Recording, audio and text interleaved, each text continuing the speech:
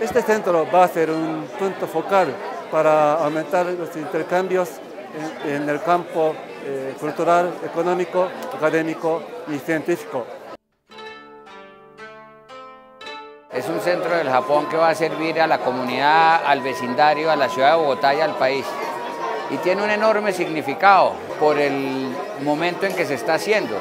70 años de la Universidad de los Andes y 110 años de la relación entre Colombia y Japón.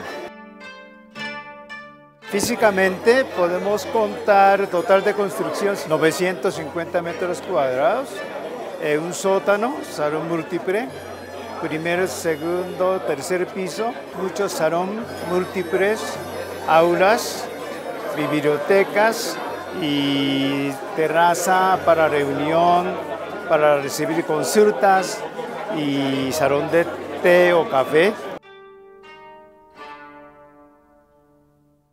Este centro del Japón fue liderado por el gobierno del Japón, por la embajada, pero detrás de él también está la Asociación de Industriales eh, y de Compañías Japonesas. Están las compañías japonesas establecidas en Colombia y creemos que con el apoyo de ellos tendremos un, eh, un centro muy vibrante, lleno de oportunidades de las cuales se beneficiarán ante todo nuestros estudiantes y la ciudad de Bogotá.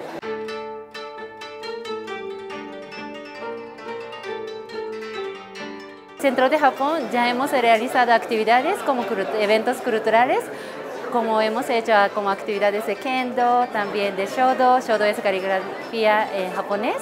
También hemos realizado primera vez, las empresas japonesas vinieron a la universidad para hacer la feria laboral y práctica de empresas japonesas y muchísima gente participaron a esta feria.